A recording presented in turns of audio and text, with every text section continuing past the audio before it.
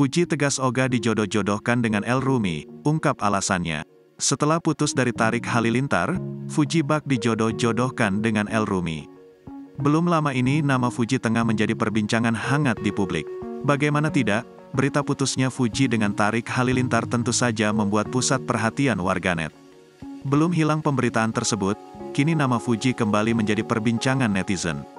Pasalnya Fuji kini ramai-ramai tengah dijodohkan dengan anak kedua Ahmad Dhani dan Maya Estianti, El Rumi. Alih-alih senang, Fuji justru ogah dijodoh-jodohkan dengan El Rumi. Fuji mengatakan jika dirinya tak mau menjadi bahan hujatan warganet. Bahkan ia juga mengaku takut dengan perjodohan warganet ini. Jangan kayak gitu, kalian yang ngejodoh-jodohin, aku yang dihujat.